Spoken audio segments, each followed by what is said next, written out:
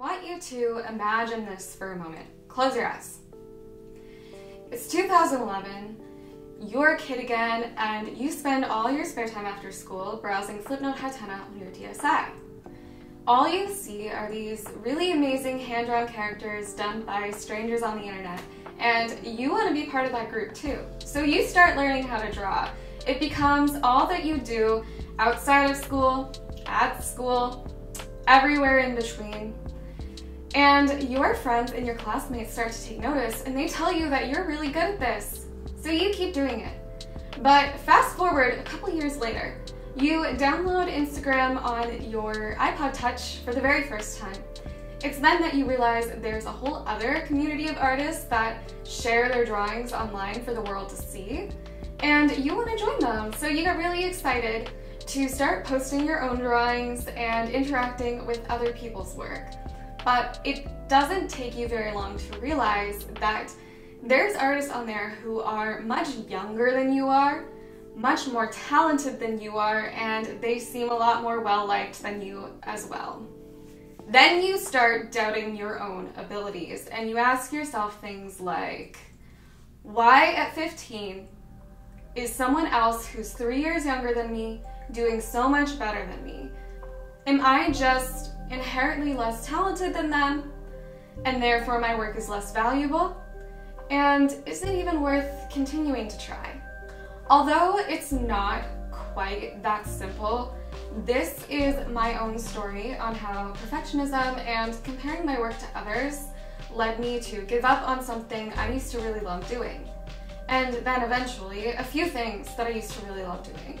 And if this sounds at all familiar to you, then you might also be a perfectionist. So let's talk about perfectionism for a minute. What does that even mean? Well, sometimes we see that phrase being thrown around to mean someone who is striving for the best outcomes. Maybe they're really organized, and oftentimes it's associated with being a really high achiever. But that isn't always how it plays out in real life. According to the American Psychological Association, they define perfectionism as the tendency to demand of others or oneself an extremely high or even flawless level of performance in excess of what is actually required by the situation. It is associated with depression, anxiety, eating disorders, and other mental health problems. So basically, it's a plague. And this is the kind of perfectionism that I've been dealing with my whole life. It got especially bad in high school, but after high school ended and all of my art-oriented friends went in separate directions, I no longer had the social motivation to keep drawing. So eventually I stopped. And this became a habit that actually seeped into all of my other interests and it left me in a place where I felt like I wasn't really good at anything at all. And this leads me to the irony of it all because how are we, as any kind of artist or creative, ever going to improve at something that we don't engage with anymore? And if your self-worth becomes so dependent on being talented enough at something, then eventually you will find yourself in this place where you are never going to be good enough because there's always going to be a flaw, there's always going to be a shortcoming, and there's always going to be something that needs to change before you are good enough. And then it starts to look like an issue of your ability and not your experience that makes you this way. And you might just stop pursuing anything altogether because of an intense fear of failure. Now, I'm not going to try and tell you that I'm some kind of expert on mental health or perfectionism or even that I've defeated the issue myself because I haven't.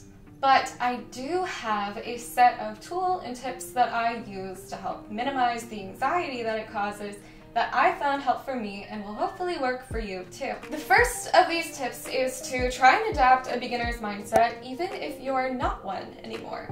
It might seem a little bit abstract and it's probably going to take some time to actually get used to, but no matter what your craft is, there's probably something about it that you haven't mastered yet. Try and remember that the work that you're putting in now is necessary for the improvement that you will see later, and oftentimes mistakes that you're going to make are going to be what drive that improvement. But more importantly, try to focus on enjoying the process more than worrying about the results assuming that the process is actually why you started doing this in the first place. The next tip that I have is to try and focus on surrounding yourself with really realistic examples and models. It can be so tempting to only look up to the pros because they seem like they have it all figured out. But the more that you're actually seeing mistakes and flaws and shortcomings, the more normalized they will become to you and the less shame you'll feel when you see them in your own work. Having a healthy mix of professional advice and realistic examples can also help you to just balance out your own expectations and have a healthier approach to your work. So number three is going to sound a little strange, but just bear with me. I want you to pick out a piece of artwork or music or even a game or a movie that you really like and actively look for flaws in it.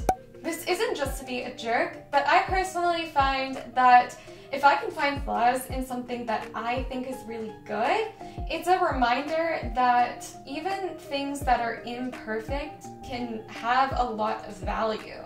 And again, it really helps to normalize mistakes and normalize flaws and help you to feel less shame when you see them in your own work. But maybe if you don't have any helpful, constructive criticism to offer, on these imperfections, just keep them to yourself. Number four is a little more obvious, but is something that I think we could all use a reminder of from time to time, and that is to be super mindful of the comparisons you're making with other people's work. Do not compare your own work to someone who you know has been doing it longer than you or has had better access to resources than you because it will not end well for you. But aside from the obvious examples, there's always going to be people who seem like maybe they shouldn't be further along than you are because of their age, the amount of experience they have, or whatever the reason is. But the truth is that you don't really know how that person got where they got. You don't know what kind of work they put into it, what their approach was, how many resources they had, maybe they had access to better materials faster. You just never know. So try to focus on your own work instead of making comparisons to others at all. And just remember that your journey is always going to look different from other people's. And just because you're on a different page than someone else doesn't mean that you aren't going to eventually get there. The last, but maybe most important tip that I have for you today is to try and catch yourself before you go on a self-criticism spiral. It's a lot easier said than it is done, but if you can start to notice when your thoughts are taking you to that awful place, you can also start to redirect them into a more helpful approach. You can do this by trying to focus more on the small improvements you've made rather than the flaws, or you can also start looking into solutions for the problems that you're facing. But no matter what, try to remember that any solution or improvement that you're trying to make is most likely going to take time and repetition to fully solidify. And nobody becomes good at something overnight. If anybody out there has their own stories to share on how perfectionism has impacted their life or their interests, please don't hesitate to leave a comment below and let me know because I would love to hear it. Hopefully the tips that I've left you with today are helpful on your own journey for whatever you're working towards. And if they were, you can always let me know by leaving a like on the video. You could also subscribe to my channel if you want to see more content like this. I have a series that I'm working on of trying to learn how to draw characters again after such a long time of not drawing them at all. So if that sounds like something that interests you, I will be leaving the playlist at the end of the video so you can always go check it out. But anyway, thank you for watching this video and I will see you next time.